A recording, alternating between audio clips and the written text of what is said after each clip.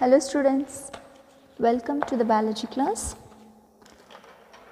In the previous classes, we discussed about polynucleotide chain structure of DNA. In that we discussed about three components of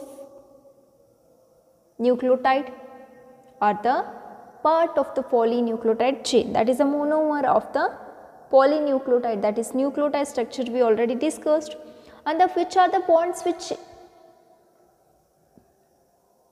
helps to form the nucleotide. We discuss about glycosidic bond, phosphodiester bond and the hydrogen bonds.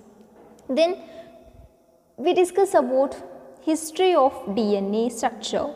Okay, firstly Frederick Miescher identified the something called nuclein is a substance which is present in the nucleic acid present in the nucleus that is a nucleic acid known as a nuclein. Later it is rediscovered by the James Watson and Francis Crick in the year 1953 based on the X-ray diffraction data which is given by the Franklin, Rosalind Franklin. Okay. Based on this structure, the Erwin Chargaff gives the rule that is Chargaff rule. The ratio of adenine and thymine is always equal to the guanine and cytosine number are constant. You can say A plus T is equal to G plus C. Okay. Today we will start the double helix structure. Remember one thing, James Watson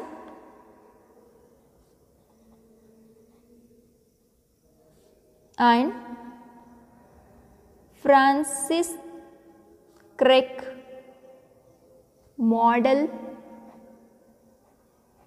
of DNA. James Watson and ಕ್ರಿಕ್ model ಅಂತ usually ಕರಿತೀವಿ ನಾವು James Watson and Francis Crick model of DNA is also known as double helix model based on the X-ray crystallography sorry X-ray diffraction data they discovered the double helical structure of DNA. The DNA structure is usually like this. There you already know that two strands of DNA are present. Okay, this is a one strand. Then two strands are very anti-parallel to each other. Okay. This is a structure of DNA. Here I will label all these things this is the one strand of DNA, this is the another strand of DNA. Okay. Let me mention the polarity. I already told that 5 prime to 3 prime, then 3 prime to 5 prime are the poles of the DNA. Okay. In that DNA, it have the bases. Those are the nitrogen base space.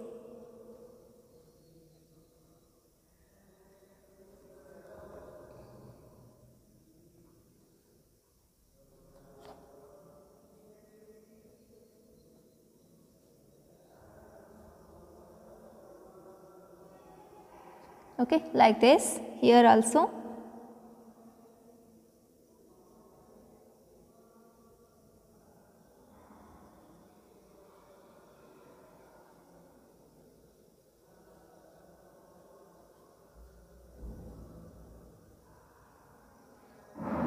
Here I can mention A T G C A T G C C G A T T A C G G C.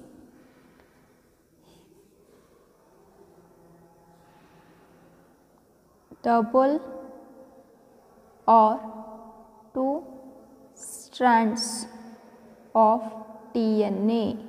Okay, these are the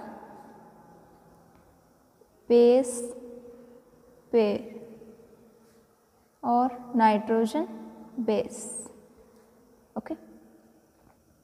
Now, now we can discuss about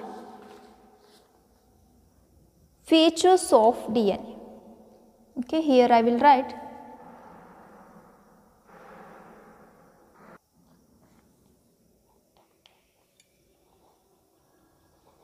features of double helix.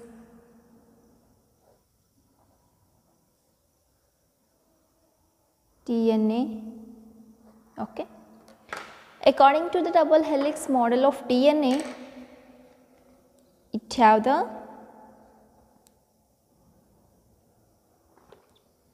DNA made by two polynucleotide chain polynucleotide chain. It consists of many nucleotide nucleotide have nitrogen base pentose sugar and phosphate. Okay then. Here DNA have sugar and phosphate backbone. You can see here the nitrogen base pairs are exactly present in middle okay but the sugar and phosphate can give the actual support. Here I can write phosphate is linked with the sugar, sugar again linked with the phosphate, then it is linked with the sugar, phosphate, sugar, phosphate, again sugar, okay. This sugar is linked with nitrogen base pair, okay. This base pair is actually like this. The DNA has the sugar and phosphate backbone, okay.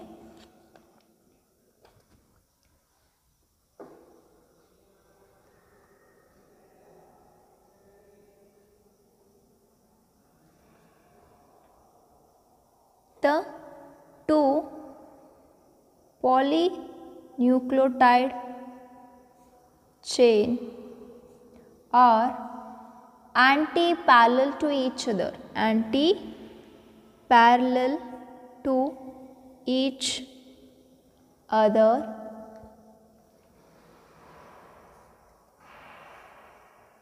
They have anti parallel polarity. If one strand is 5 prime to 3 prime, another strand is always from 3 prime to 5 prime. Okay. The 5 prime end of DNA is fifth potassium, fifth carbon with the phosphate group, not potassium, it is a phosphate group. Then 3 prime end is OH, okay. So always have the OH. Next, the anti-parallel strands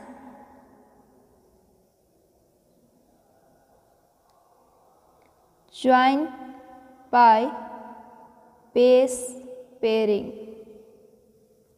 that is complementary complementary base pairing complementary base pairing andre always adenine pair with thymine and guanine pair with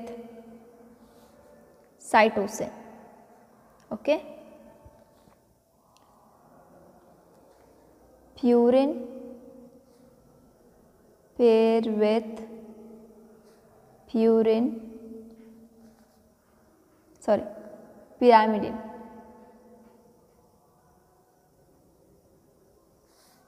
और vice versa pyrimidine in pair with purine okay then adenine bind with thymine by two hydrogen bond like that. All these points we already discussed. That's why I am writing like this. Guanine bind or pair with cytosine. Here I will write.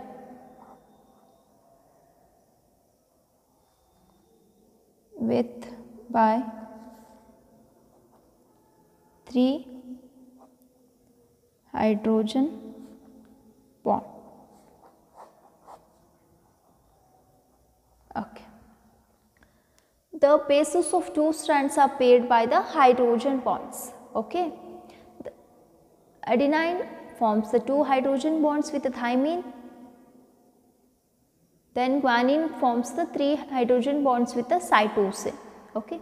The always purine comes opposite to the pyramid and pyramid comes opposite to the purine. This generates approximately uniform distance between two strands of helix. Okay. This is very important to maintain the distance between two strands. Then DNA two strands are coiled in a right handed manner okay or fashion here you can see always the DNA is have the right handed term ಈ ಕಡೆಯಿಂದ form ಆಗೈತಲ್ಲ it is right handed fashion are right handed D N A ಅಂತ ಕರಿತೀವಿ okay then deoxyribose binds bind with nitrogen base by glycosidic bond okay? Like that. Deoxy here you can mention carbon first okay? Deoxyribose bind with phosphate group. This fifth carbon atom.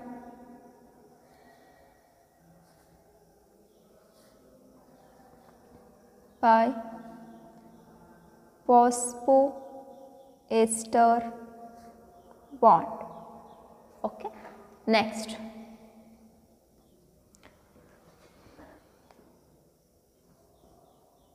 Dna have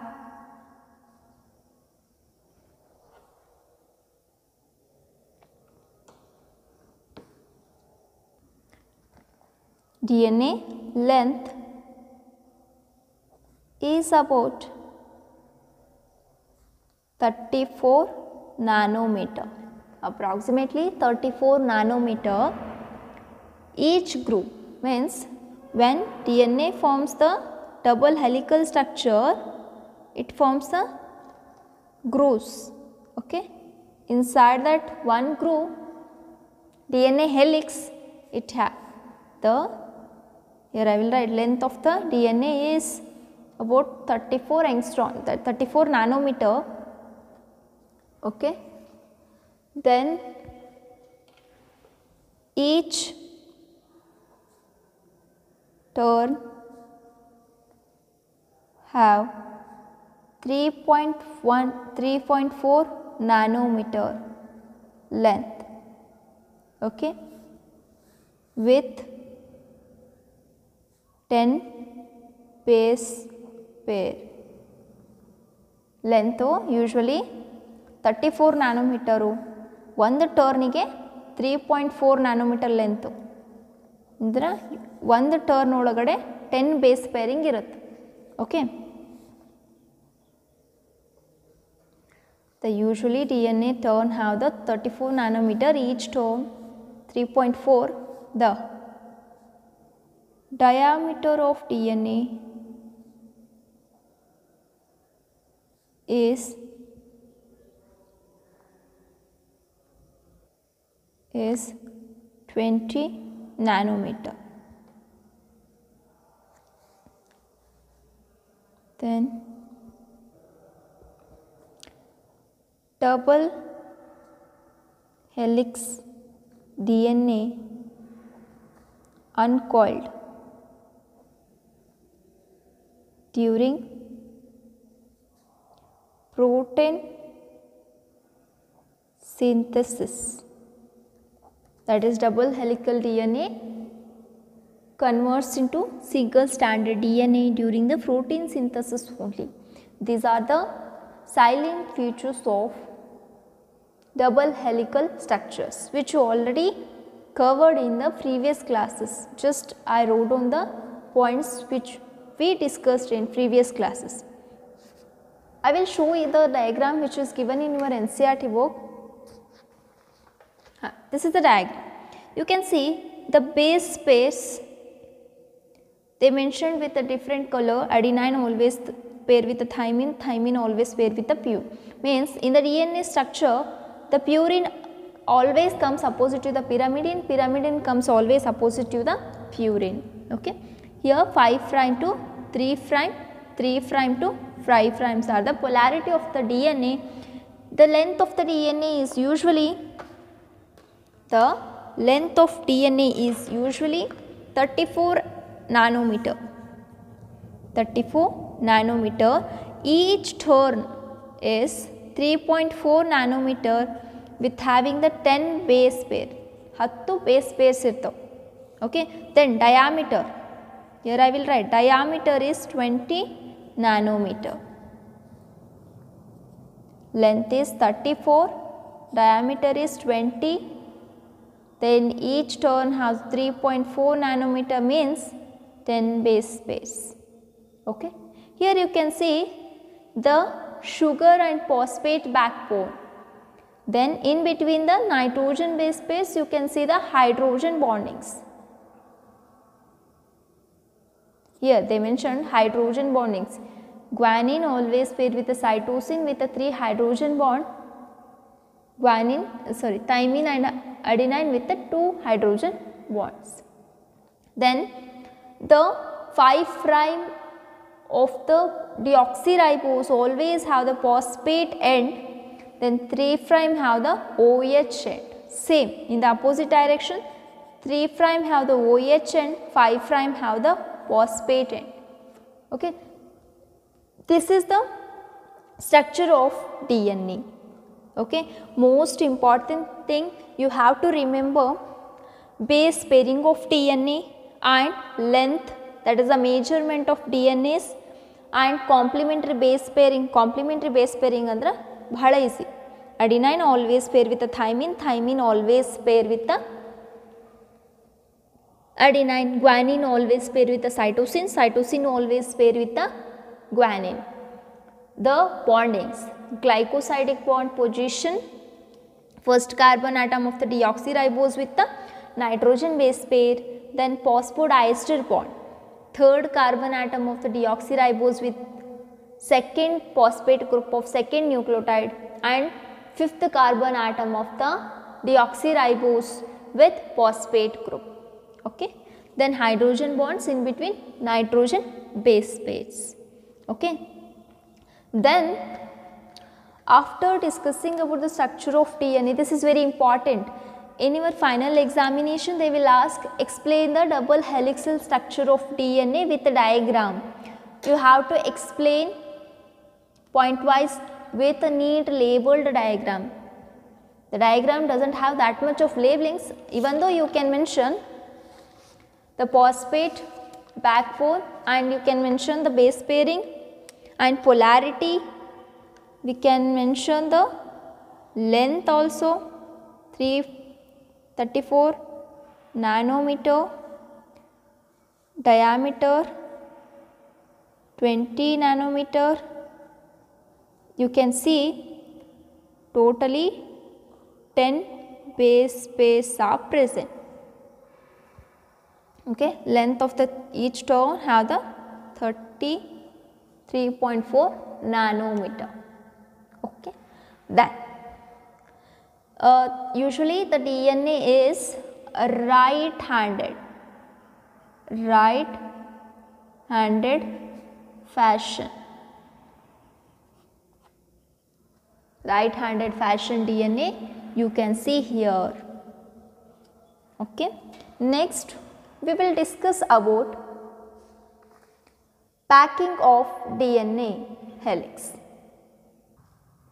after discussing about the structure of DNA, I told that the DNA structure is always present means the nucleus that is genetic material is always uncoiled form that is in the DNA form.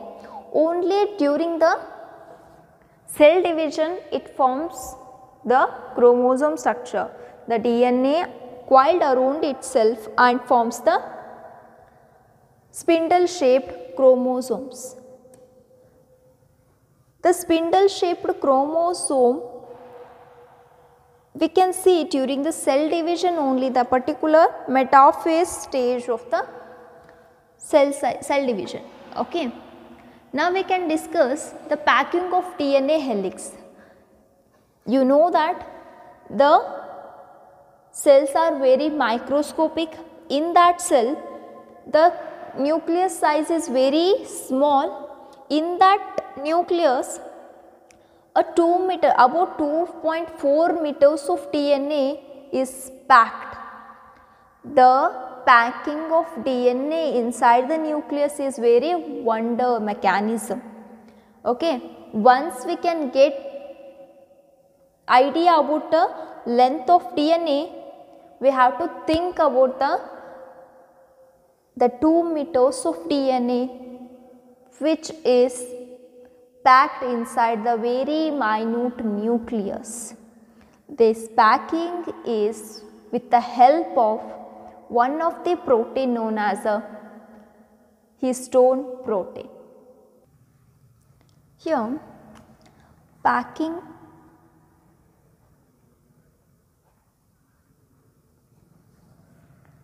of DNA helix. We have to discuss both in case of prokaryotes and eukaryotes. First we will start with the prokaryote. In the prokaryotic cells, you know that the true nucleus is completely absent means absence of nuclear membrane. There is no nucleus. The DNA which is coiled which is present inside the common cytoplasm. Okay. DNA, DNA present in cytoplasm because it does not have any boundary. Okay. This is not considered as a true DNA or true nucleus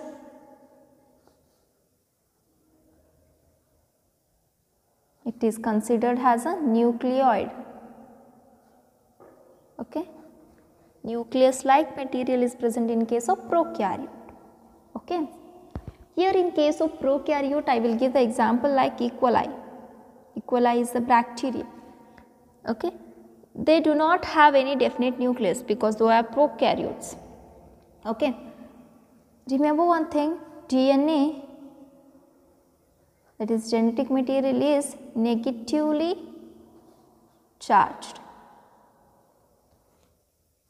DNA negatively charged. Okay? Then acidic in nature inside the nucleus DNA always binds with DNA binds with positively charged proteins. Proteins are always have the positive charge, DNA have the negative charge. DNA binds with the proteins. Negatively charged DNA binds with the protein. Proteins have the positive charge. Okay. There is no any complications in the packing of prokaryotic DNA because it packed inside the cytoplasm with the DNA and positively charged protein. Okay. Then we have to discuss about eukaryotes.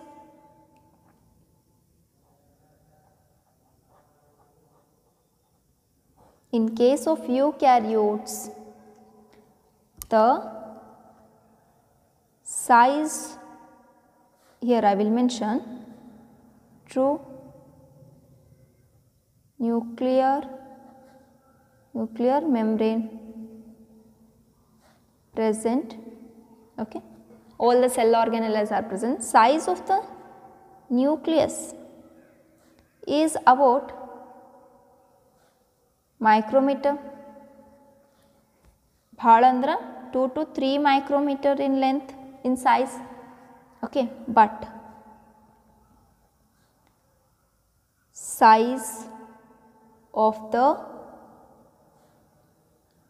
mammalian or human mammalian dna is 2 point or 2.2 meter in length.